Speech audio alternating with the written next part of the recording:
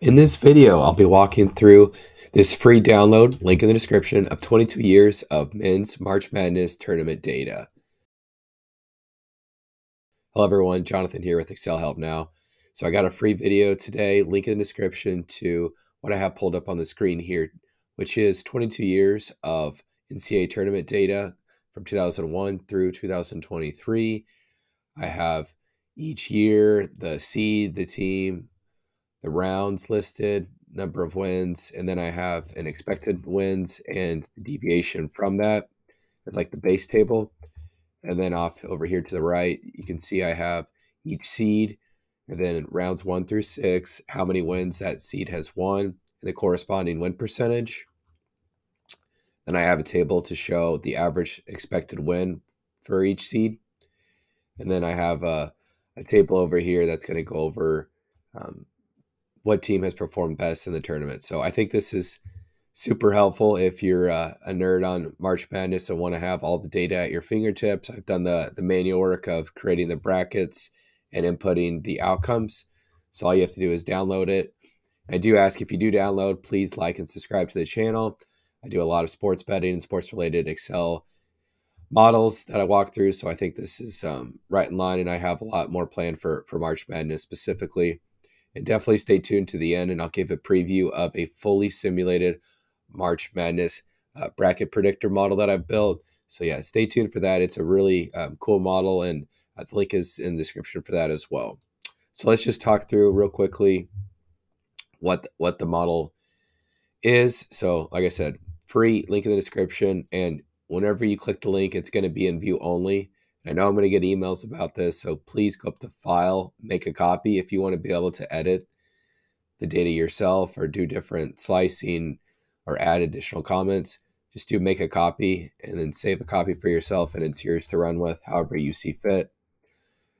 But the, the how to read it is we have our our year, our seed, our team, and then rounds one through six. If you see a one, that means that they won. So Illinois beat Northwestern State back in 2001 and that'll just continue on down the screen. And I just have a column here that adds up the number of wins and then the expected wins. So that's going to look at the seed.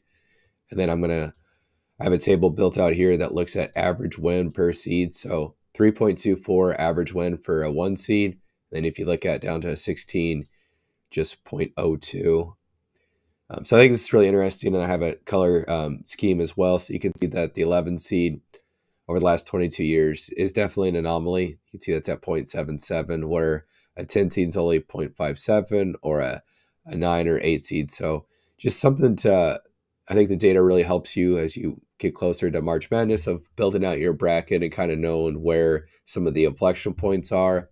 And obviously, the one seed really does stand out. We go down here to the win percentages 97%, 98% rounded to for the one seed to win the first round. That's you know it's only only two losses over the last 22 years or over all of history.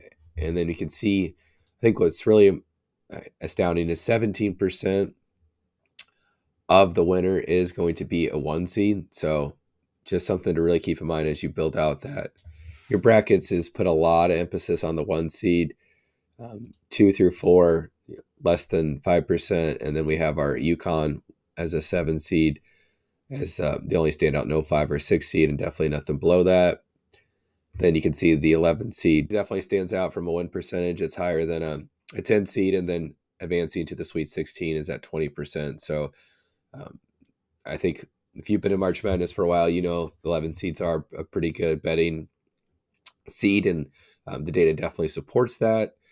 Um, so just I, I would say to you know glean from this whatever you you want, but I think it's really interesting data. And then one more thing I have built in here for everybody is I have this by team, the expected wins. So UConn is number one. That's no surprise. They've won four championships over the last 22 years. Um, one as a four seed, one as a seven seed. Michigan State, Butler, North Carolina, UCLA, Kentucky, Florida. So a lot of the blue bloods are standing out as you know doing better than their seed even would have you number of appearances for each team, their average seed, their best seed, their worst seed. Um, so this is just helpful knowing kind of what teams have historically performed the best. and then you can go down to the bottom. What seed? What teams have performed the worst? So Virginia, you know, as a one seed losing to 16, that definitely hurts their numbers. But they've also been the tournament 11 times, so they've they've underperformed consistently. This one's hard to hard to see. I'm a fellow Hawkeye, so seeing Iowa as uh, the fifth worst performer over the last 22 years, it's no surprise as a fan knowing that. But um, just one to know, like if you're looking for upsets, maybe target some of these programs as they've historically underperformed their their seed, knowing that these teams have historically outperformed. So that's just I think really helpful um, information as well. I have a pivot table tab here. Again, if you save down a copy, you can um, slice it and move it around. You'll just do the, the edit button down here and it'll bring up the pivot table editor and you can look at different information that you like. So yeah, that's that's what I have today. It's a you know, free download. Hopefully this is interesting. I I don't think you can really find this information. Like I said, I had to manually put in all this. So um, wanted to give this to everybody and just please like and subscribe if you do uh, download. And with that, I'm going to flip over to Excel and show you the March Madness model I've created and just give a quick preview of that as well. All right, I have pulled up here the, the model and the link is in the description for this on my Etsy page. I'm really proud of this model. I've been using it for many years. And if you're like me and you like to build out a lot of different NCAA tournament scenarios and make a lot of brackets, I think this is a great product. So if we just click generate bracket, you can see that it's going to simulate every game, every round, have it summarized for who your final four is, your championship, and then who ultimately wins.